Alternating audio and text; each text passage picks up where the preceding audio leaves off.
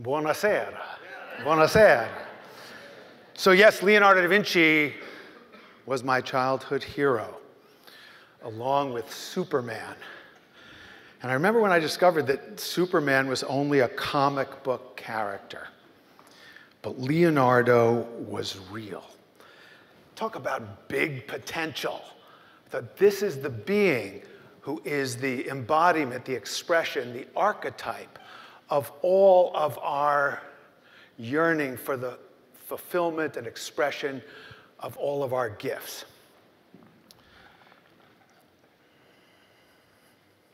So I had the chance way back in 1994 to speak to Young Presidents Organization in Florence about Leonardo for the first time.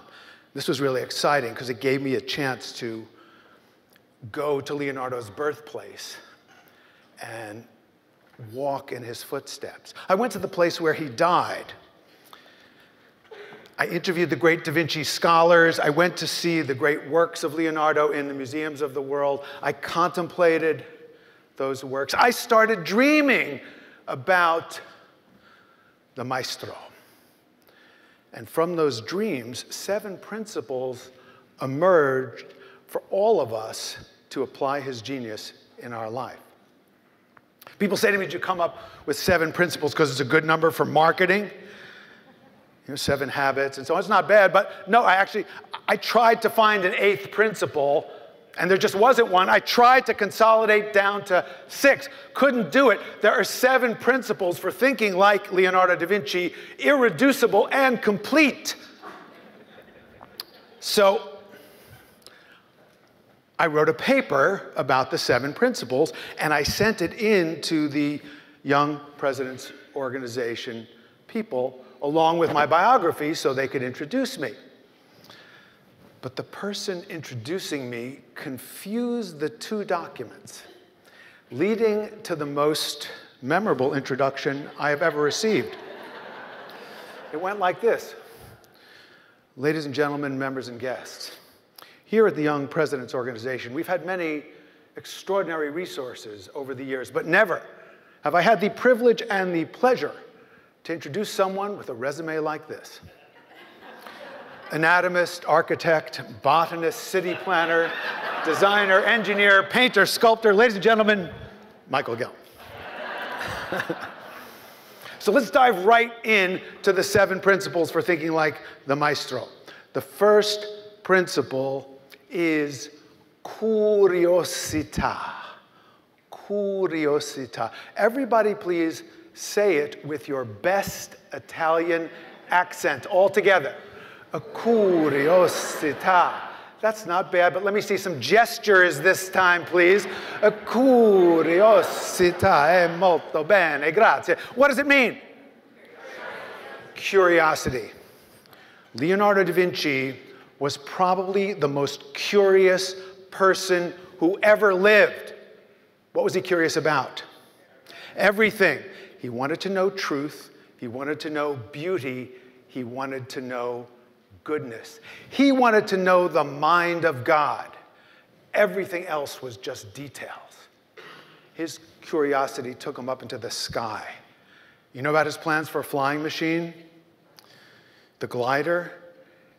And maybe the most amazing invention of all, the parachute. Leonardo da Vinci invented the parachute before anybody could fly.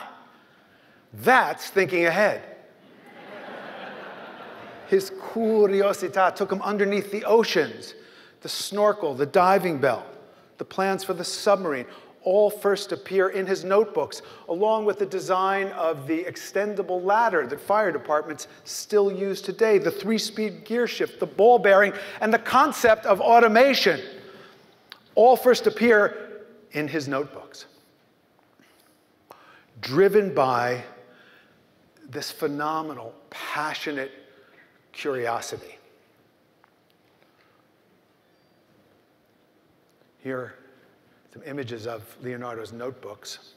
You know that Bill Gates paid $30.8 million for, eight, for 18 pages of Leonardo's notebooks. I think you can get my book on Amazon for 12 bucks. I mean, you're making money.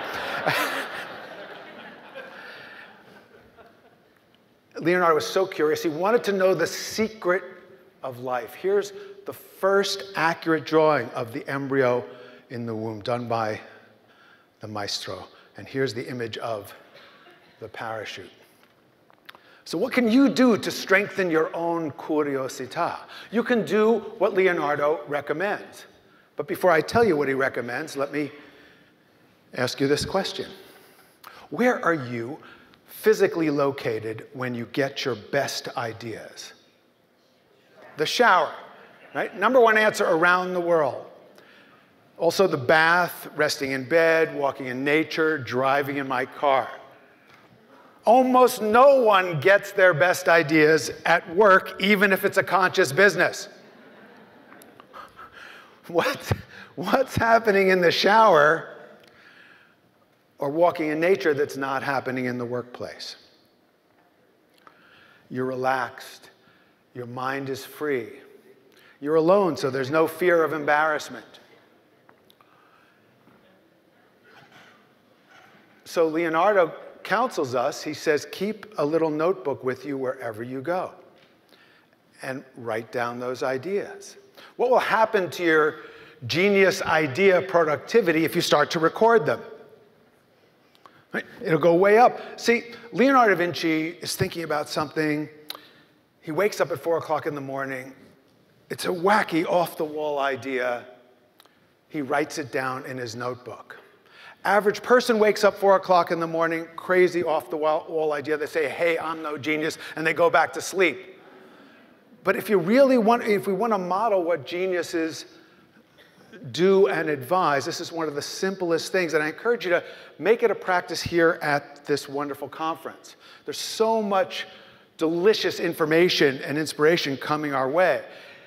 Incubate it, jot down your thoughts about it, they don't have to be fully formed. As a matter of fact, that's part of the secret of nurturing the creative is to nurture those unformed, incomplete ideas.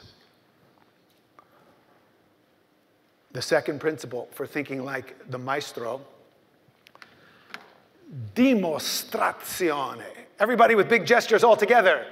Dimostrazione. And it means demonstration. Leonardo said to his students, You must demonstrate things in your own experience. Think for yourself. Become what he called an inventore, an original thinker. What was the challenge to independent thinking at the time of Leonardo, leaving aside the strictures of the church? Information was hard to get. Books were rare. If you could find one, what language would it have been in? Latin which you would only have learned if you came from a noble family. Leonardo taught himself Latin when he turned 40 so he could read the classics as they became available. What's the challenge to independent thinking today? Too much information. How do you cut through the tsunami of spam? And really think for yourself. Well, Leonardo gives us guidance. You see these three images of a flower? Leonardo says if you want to really think about something, get three perspectives.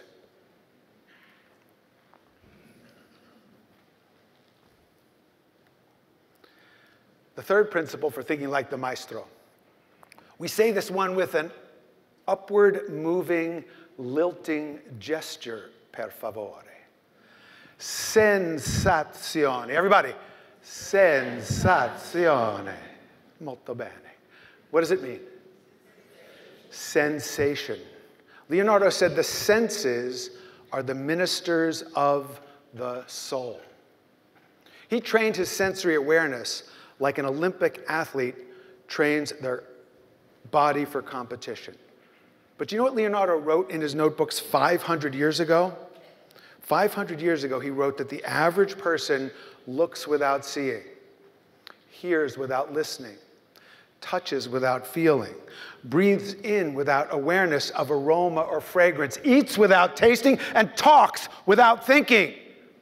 That was 500 years ago in Tuscany, long before the Kardashians.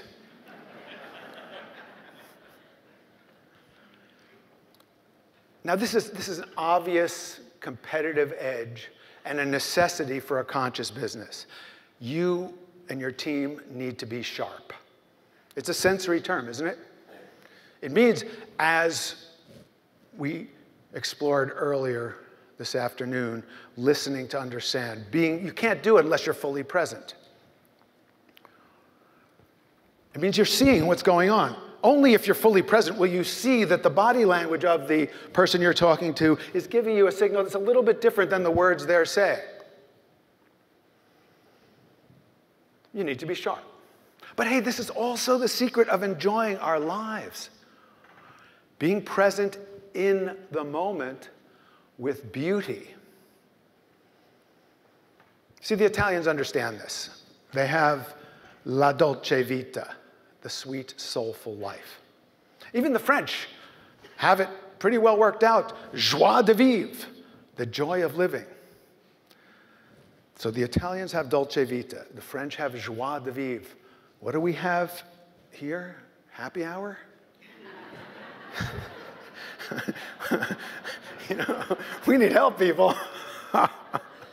and, and, and here's the advice that Leonardo gives us serious, quite serious, if you want to enrich your creativity. Ask yourself this question every day How can I make my life and the lives of people around me more beautiful? We were doing a seminar for VA, VA hospital nurses, and they were doing work at their, in their small groups on how can we make our lives and the lives of the people we work with more beautiful. And they came back and they reported we run a PTSD ward. We have veterans coming in and they've been through hell. And in our waiting room, we realized the TV's on, turn to the news. So you're sitting there waiting to be treated for PTSD, getting more PTSD. They took out the news programming and they put in the, you know, those nature scene programs. And they started getting real creative and doing aromatherapy and art, which they changed on the wall, because what they found is it uplifted them. As Sean anchored us earlier, emotions are contagious for better or for worse. So be really careful what you catch and spread. Leonardo says, catch and spread beauty every way you can. Do you know this, this painting is the baptism of Christ by Leonardo's teacher? Leonardo just did this little angel in the corner, the one with the flowy, curly hair. And these two angels are great. The other one is by another of Verrocchio's students. And the other angel looks like a bored choir boy. I mean, this is unconscious capitalism. Another day at the office, right? This painting is the baptism of Christ, so that angel's going, okay, baptism of Christ, whatever. Take down the notes and file the report. Blah, blah, yada, yada, yada. Whereas Leonardo's angel looks like, oh my God, this is a miracle, which is what the painting is all about and what life is really all about. So there are two ways to live your life. One is as though nothing is a miracle, the other is though everything is a miracle. And part of the secret of that miraculous approach to living is the conscious appreciation and sharing of beauty every opportunity you get. So, you know, this guy, let's just uh, put your left hand on your heart, please. Right hand, cross your body, pointing up to the sky. Then tilt your head and do that really cool Leonardo smile.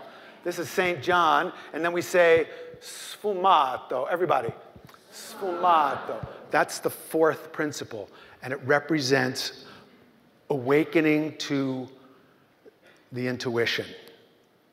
Raj speaks so eloquently about the importance of reintegrating what we've called feminine values with masculine values to create a transcendent, holistic, balanced way of being in the world. And this is part of what Leonardo is trying to tell us 500 years ago. He says, awaken your heart, have a higher purpose, and keep your sense of humor. Of course, we see this same theme in the most mysterious and most famous painting in human history, the Mona Lisa. What is she smiling about? Let's find out. Everybody, please assume the Mona position. Imitate her famous smile.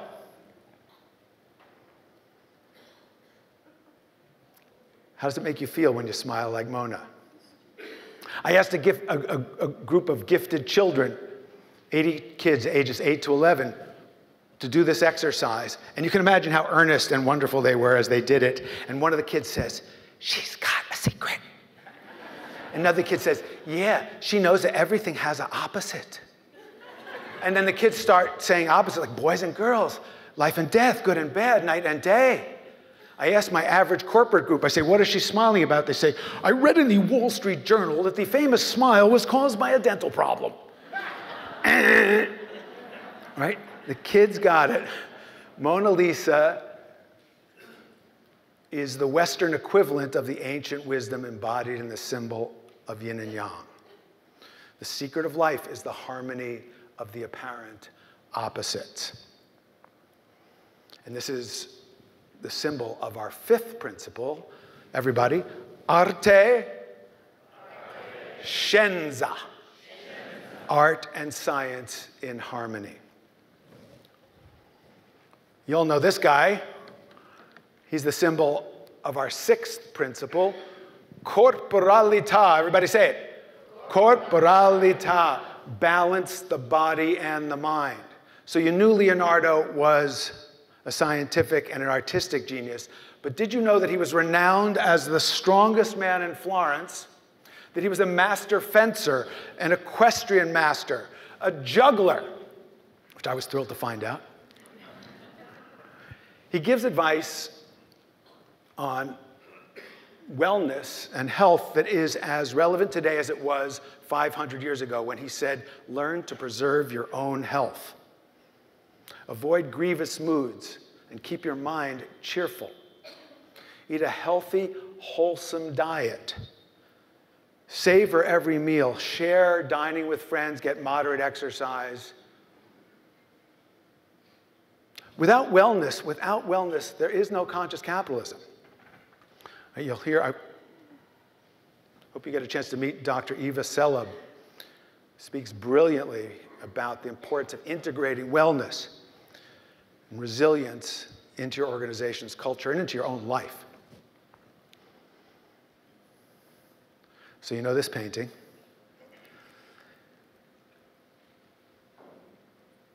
I like to think of this as just kind of like a, a board meeting and the chairman of the board has just made a big announcement. Look at the way everybody's reacting. Leonardo is the first painter to capture this moment where Christ says, One of you shall betray me. And you look at the disciples, they're going, Whoa! Just like you might be if you're at that board. Really? We're having that many, we're making that big a change? We're acquiring that company? No way. But you see the serenity of the holy figure in the center because he's aligned with a higher purpose. This is the seventh principle for thinking like Leonardo da Vinci. Connessione. Everybody say it. Connessione. Everything connects to everything else. This is why we have conscious capitalism. If everything didn't connect everything else, we wouldn't need it. But it does, so we do. So I want to give you a practical way to think like Leonardo to integrate everything we've talked about here. Here are my notes for this presentation. You may photograph them. You may do whatever you want with them on your device. What's my image in the center? Parachute, because Leonardo invented it. Curiosità, keep a notebook. Dimostrazione, learn from experience. Sensazione, sharpen your senses. Sfumato, embrace your intuition. Arte scienza, balance art and science, corporalita, balance, body and mind, and connessione, be a systems thinker. Everything connects to everything else. The art critic Bernard Berenson said of Leonardo da Vinci that everything he touched turned to eternal beauty. My wish for you is that you are touched by that beauty and that it enriches your life every single day. Grazie mille. Thank you so much.